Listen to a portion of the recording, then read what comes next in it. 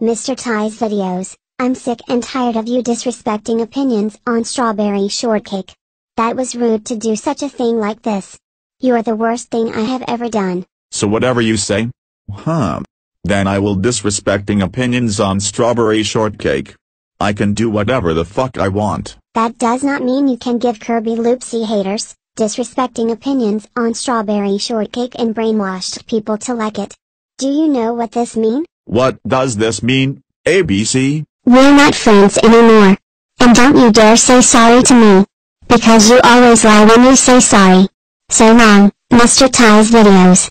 Or should I say, Mr. Fuck Shit. No.